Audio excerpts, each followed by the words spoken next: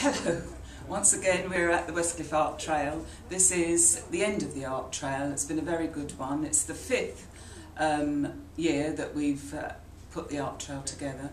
Um, we have a team of nine people who have a specific job and they've all executed this job very, very well this year. I'm very proud of the team that I've got. We have improved the trail this year in as much as we've had um, a band um, Roy and the New Arrivals in the middle of Hamlet Court Road last Saturday and we had street painting um, children and any adult was encouraged to draw something on the pavement which helped with the publicity. Southend High School for Boys have presented an exhibition in Studio 11, That's, that was well worth a look at.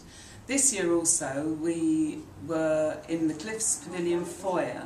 Last year we were on the mezzanine floor and it was a bit quiet and not a good place to actually exhibit the paintings.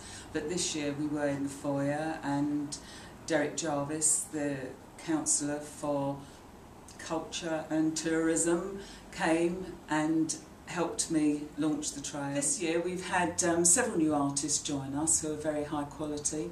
Um, in particular, Nicola Upton uh, has joined um, a faithful, Sharon King, in Casa Bonita, which is a new uh, venue for us this year. Another new venue and a new artist to us is down um, on Station Road, and that's in Dolly's Tea Rooms. Um, Daphne McSheen is in, in Daph Daphne is um, an artist who used to teach art. She's in her 80s, I believe, but um, she's been very welcome this year. Empire Cakes are now on board. That's actually well worth a look. It's very colourful and um, not good for the waistline, needless to say.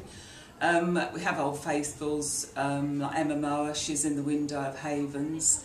Eliza is where I am again. Um, Beverly Ashwood, the proprietor, looks after me very well and she's moved her shop from um, where now JJ Sweets is and they're on board up and has created a new upmarket dress shop um, which accommodates my paintings.